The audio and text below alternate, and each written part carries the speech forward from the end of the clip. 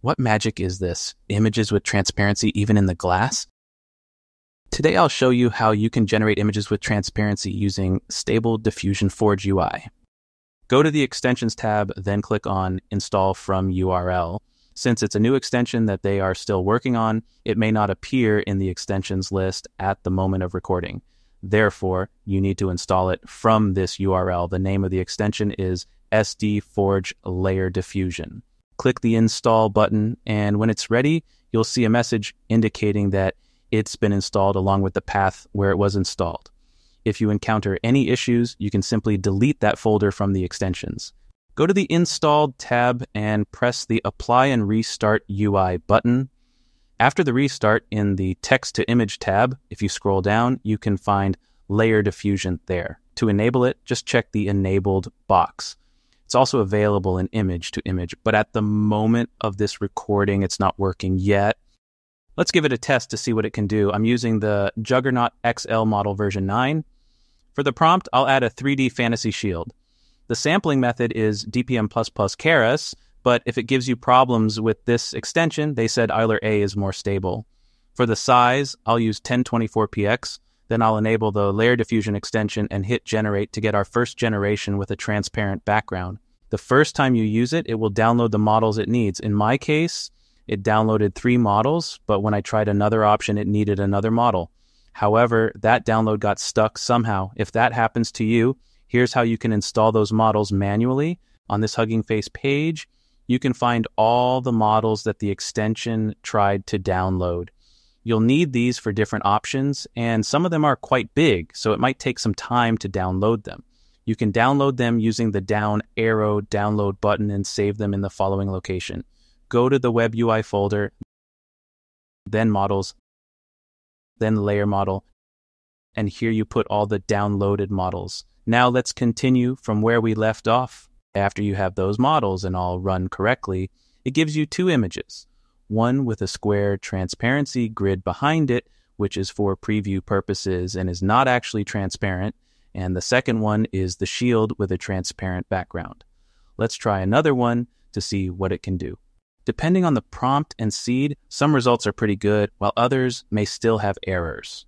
Let's try the second option. For this one, it uses another model from the list I showed you earlier called conv injection. I believe it might refer to convolutional injection. According to ChatGPT, attention injection integrates attention mechanisms for capturing long range dependencies, while convolutional injection incorporates convolutional layers to capture local patterns in data. But I have no idea what those mean since I am a designer and didn't need all those terms. From what I saw, the model is bigger for this one, and I think I got better results with it. However, it's hard to compare since even if I use the same seed and prompt, changing from attention to convolutional injection changes the actual generation. Let's try a prompt for a fantasy blue bottle, a 3D render. What's cool about this is that we actually get a transparent bottle, um, which a background remover cannot do. So I think that's pretty cool. I hope they can improve it further to work with all the options. I'll show you later where it has some problems. Let's change the prompt to a pink bottle and see what it generates. I'll open the bottle in Photoshop to confirm that the bottle is actually transparent, not just the background. I'll drag a shield behind and move it around to see which parts are transparent. You can generate pretty much anything like robots or people. For people, it's nice that it gets a nice contour around the hair, which is pretty difficult to remove the background in other software. Let's try another option um, called From Foreground to Blending. And this will allow you to add an image uh, with a, a transparent background. For example, let's drag the robot that I just generated since it has a transparent background. Now, for the prompt, um, you'll want to mention what should be in the background of that image you just dragged. For example, I can add a battlefield and some explosions. And now, when you generate, you basically get the foreground, which is the robot in this case, with a new background each time. To show you the next option, I will temporarily disable the extension and generate a winter landscape quickly. Now I will choose from background to blending option and drag that winter landscape into layer diffusion. In the prompt, I'll mention what I want to uh, uh, appear in that scene, like a snowman. When I hit generate, I get a snowman, but with no background because I forgot to enable the extension. Let's enable it and try again.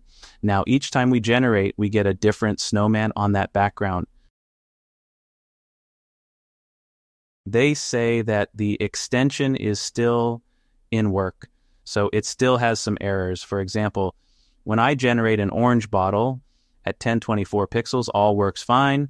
But when I try different sizes, like 1200 pixels, I get an error. You can find the error in the command window. Probably that's why it wasn't released on the extensions list yet. So you can wait until it gets a better version or just try how it is and use the things that do work. As soon as I change it back to 1024 pixels, it works how it should.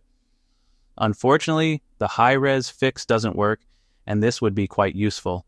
It doesn't give me an error, but the generation is not how it should be, and the background is not completely transparent. You should also know that all currently released models are for SDXL.